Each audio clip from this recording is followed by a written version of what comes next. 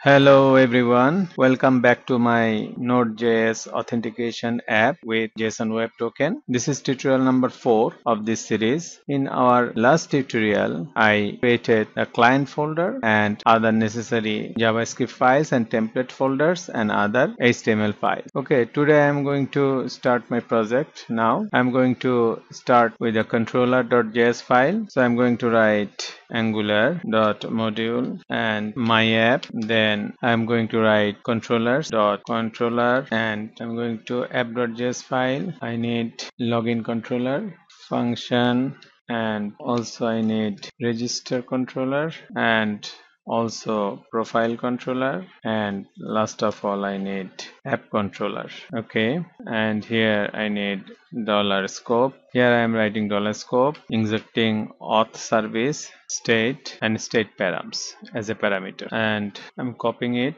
and pasting here also. And I'm writing the code. Dollar scope dot user is equal to email and password. Then if dollar state params dot obj the object will send through our route not equal to null. Then scope dot message is equal to dollar state params dot obj we are loading our object into the scope dot message variable okay? And then var no dollar scope dot login is equal to anonymous function auth service dot login.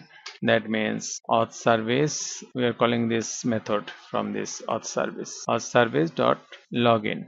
Okay. Auth service dot login. And we will need to send the user dollar scope dot user.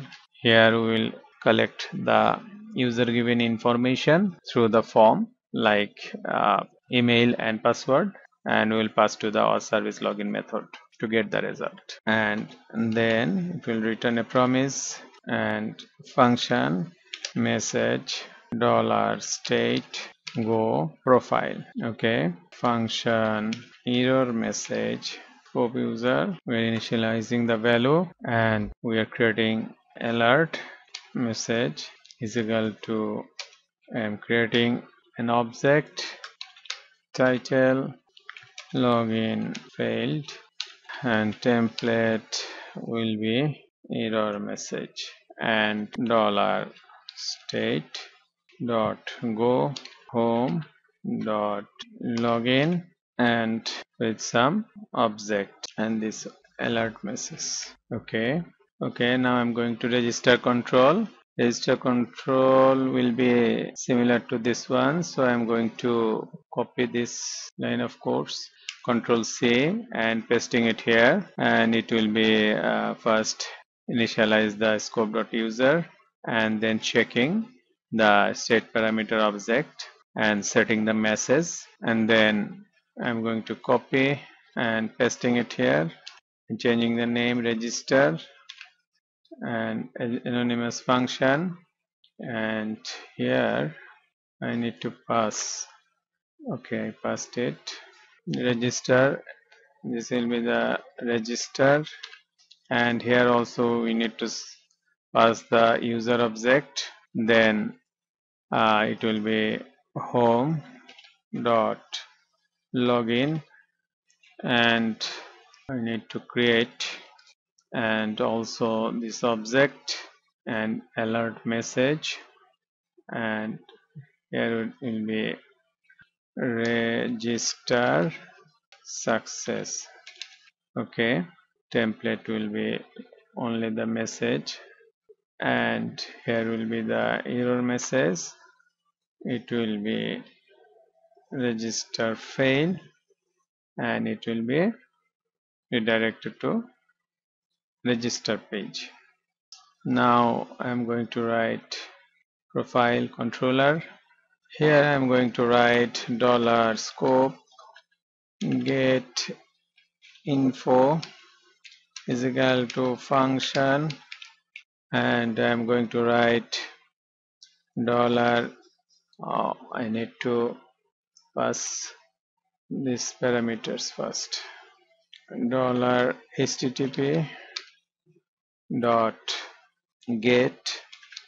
I'm copying it and pasting it here profile and then scope dot user. And here will be the response. Scope dot user is equal to response dot data dot user. And one more method we need here that is dollar scope dot logout function auth service dot log out and after logout dollar state go home dot login. Okay.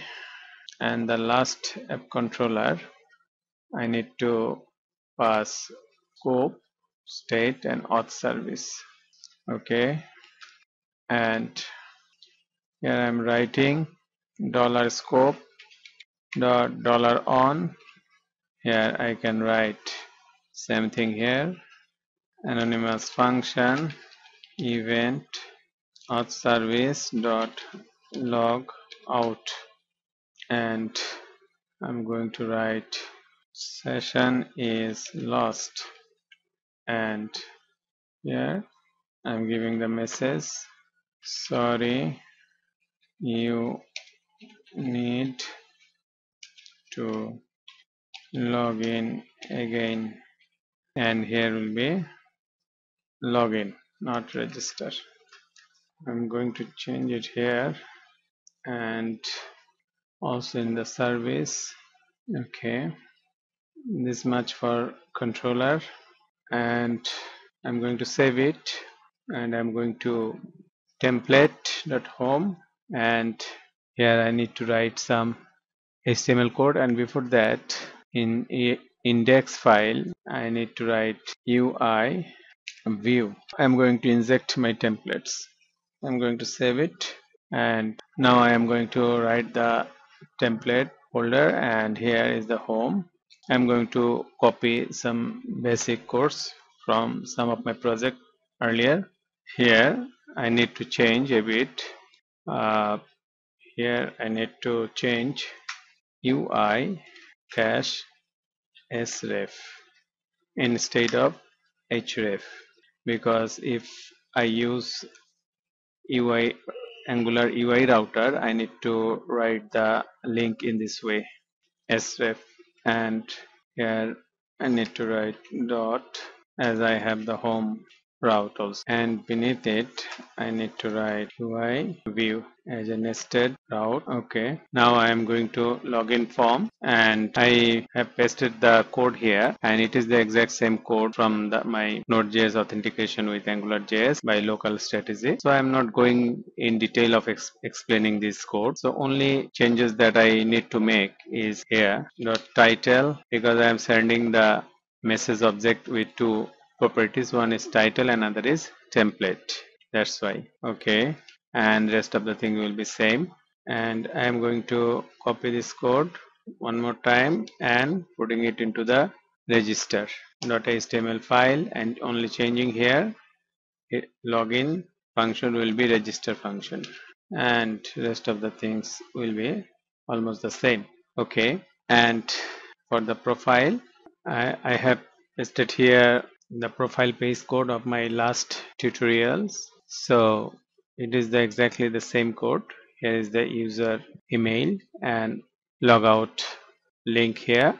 And here to display the user profile information. And in our last tutorial we displayed the information just after uh, the user logged in or after registration. But here I am giving some button to get information. If the user click the button then he will see the restricted information. Then the token will be sent to the server and he will be able to see the user information. Otherwise he will not be able to see the user information. So this is the course. So I am going to save it. I am going to save all and I'm going to start MongoDB. And also I am going to Mongo shell and I am going to delete it the users document. And if I say show DBs there is no user document here. So I am going to the browser. And before that I need to start my project. I need to come back to the root. And start nodemon server.js server is running. I'm going to localhost 3000 and going to console. Uh, here there is controller 404 okay let me check. Have written controller and my file is controllers. So I need to start. Add s. And going to save it and again restarting and I am starting the server and going to the browser. And I need to put the quotation here okay oh, I did not give the R spelling mistake I'm going to save it. Router okay here it is okay. And dollar okay. So I'm going to restart my server and I'm going to the browser and refresh the page. Okay it is coming now. So this is the user login form. It is coming from this form and I'm going to test it. If I write Rakib and any arbitrary password so it is giving the message no user found. This message is coming from this section and we are sending this message through our login controller through this object this message we are generating. Okay now I will have to create a user. So I am going to create it and if I don't give the valid email and it is giving me the message enter valid email address I fixed this AngularJS validation in my previous applications so you can see if you like. So I need to give valid email address mail.com and here if I give some password and I have fixed up that the password should be more than six characters so I will have to enter six character at least. And now it is enabling to submit my user information. I'm going to submit it to register the user. And it is redirecting me to the login form and the success message is coming out. And this thing is coming from register controller. So from this this message is coming and we are sending this and we are redirecting to login form. And if it does not register properly then it will redirect to itself register form. So if I try to do that like if I want to register another user and before that I am going to enter the same email address and try to register one more time and what message it gives registration failed. So user is not registered okay? So I'll have to give the valid login form. I'll have to go to register and I did not change registration form okay? Refreshing the page okay? Now I am going to do it again and if I try to register again so it is in the register form and giving me the message. So if I try to invalid email address same validation will work here as it worked before. So I'm going to register a new user samira mail.com and password I'm giving and trying to register and it is redirecting to login form. Okay now I am going to log in so if I try to give the wrong user ID and some password so it is telling me that login failed no user found okay? And now if I the right email address and wrong password then it is giving the message password does not match. So at this time I will give the correct credentials and it is locked in and it is going to the profile page. I have set to button here one user information another is token. And I am going to profile page here and here I have given one logout anchor tag uh, for getting this one. And here two buttons. One button it is telling uh, the user information to get the user information with the token. Another is we disconnect the token and we are killing the session. I'm going to uh, explain the things like when I use the get info then it is going to controllers file. And the profile controller uh, we are getting this uh, method. And we are sending our request to the server with the profile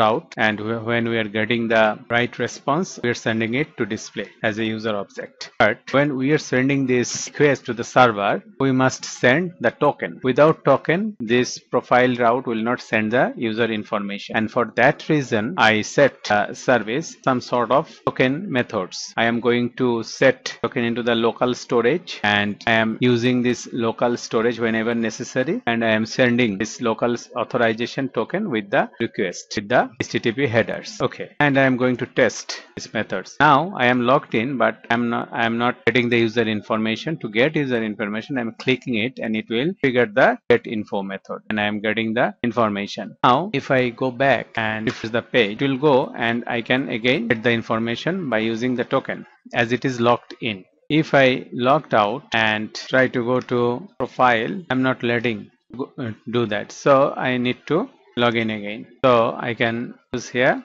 if I go here and profile or and if I use the information and press the page again can use this information. But if I kill the token that means we are destroying the token. And then if I refresh the page and try to retrieve the information it will be sent to the login page and the session is lost. Message will come and we are getting the 401 unauthorization request status. We are not anymore authorized to get the credentials of users. So what I need to do, I need to log in again to get that information and it is the ideal case. So it is the magic of JSON web token or the system of web token. Okay, I am going again 23456 is my password and user information and if I don't kill the session, I refresh the page and I can get information anytime. But if I once kill the token, if I refresh the page and if I want to the information I'll be direct to Okay, this much for now. And this is our Node.js authentication application by using Passport JWT. That means JSON Web. Okay, I hope this tutorial was informative for you. And if you have any question or any comments, please leave it into the comment box. And if you like this video, please subscribe to my channel. And thank you for watching.